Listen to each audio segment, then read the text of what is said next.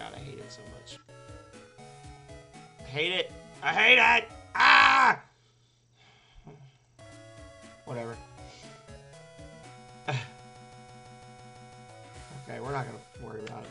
I'm just gonna just gonna have a seizure and be happy. So what do we need to do now?